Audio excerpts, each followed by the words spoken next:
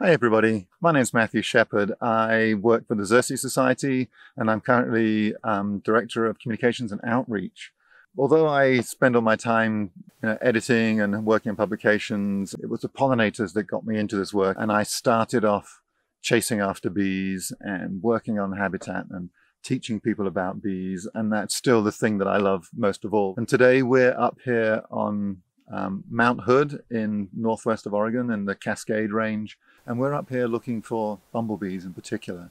And so I'm going to go out, um, go hunt for some. I'm sure I'll find um, several different species and then we'll talk about them. Wow, well this is, this is really exciting, the one that I just found here.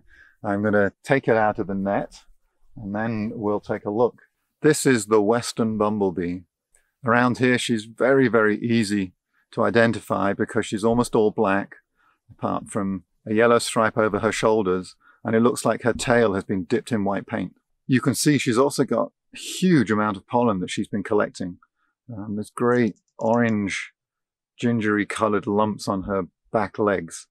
That's the uh, pollen from the, the lupins here, which is the flower that she was foraging on and I just netted her from. The western bumblebee used to be one of the most common and most abundant bumblebees, all the way from Alaska down to Colorado and from the, the Pacific coast into the Rockies. And in the last 15 to 20 years, from great areas of that range, they almost disappeared completely. Um, and where we are up here on Mount Hood around the Timberline area is one of the, the few areas um, in this part of Oregon where we still find them regularly. Um, and so that's why I'm so excited to find one today. Is she's just such a beautiful bee. So this is a, a, a different species of bumblebee. Its um, scientific name is Bombus bifarius. This one, is, as you can see, this one is very different colors from the, the western bumblebee. So the one, what you can see on this one, it also has the orange pollen on its on its back legs. Um, bees whatever type of bee, whatever species, um, the females will have somewhere on their body where they can they, they can carry pollen around. Bumblebees are like honeybees and they have what's called um, a pollen basket on their back legs, which is just a, a, broad piece of leg that has very stiff hairs around it. And they pack the pollen into that by mixing it with nectar so that it makes a, um, a pasty lump, a bit like Play-Doh, I imagine. One of the things that bumblebees are particularly good at and fairly unusual is that they can what's called buzz pollinate. And so some flowers, uh, the pollen is dry and you have to shake the flower to get the pollen out.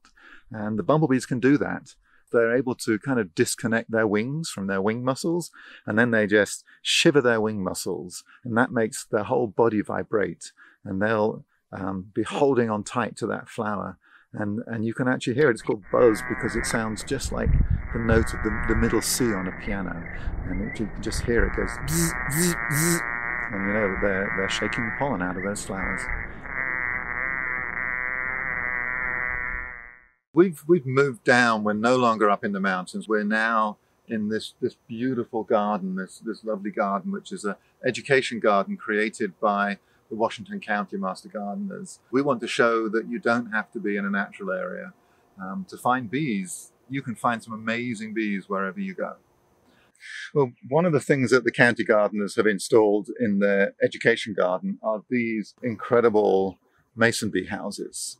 Um, I'm, I'm, sure you've come across the idea of mason bee houses where you, the, the mason bees, they just need um, a tunnel and then each mason bee will make her own nest down that tunnel. It's not just the mason bees that will nest in there. There's also some leafcutter bees that are nesting in here as well.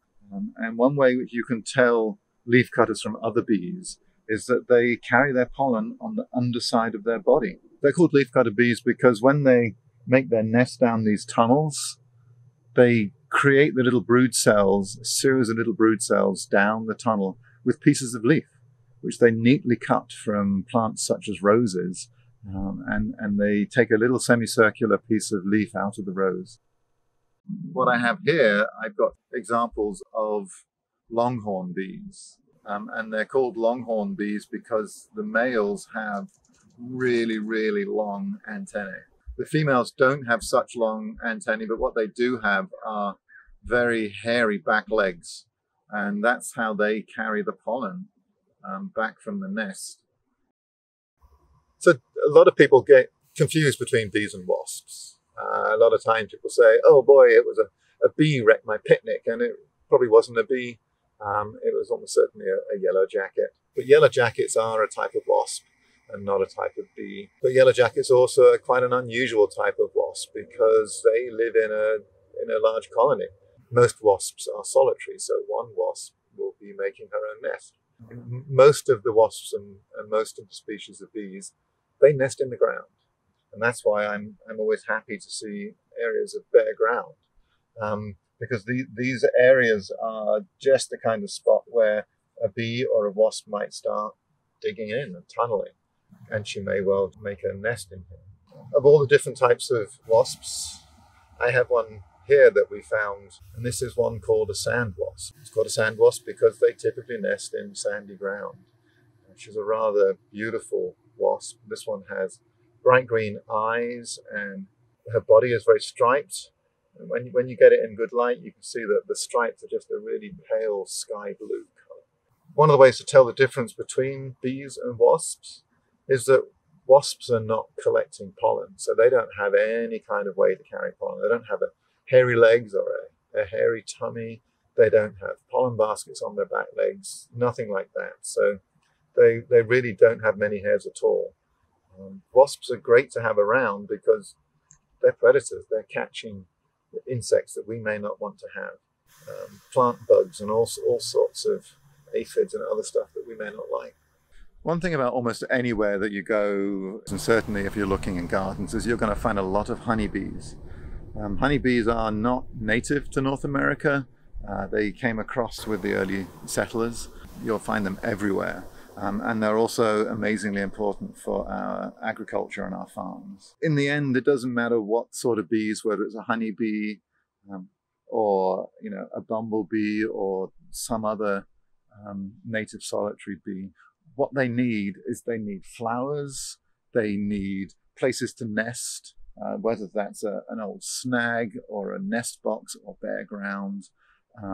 They also they need areas to be free of pesticides.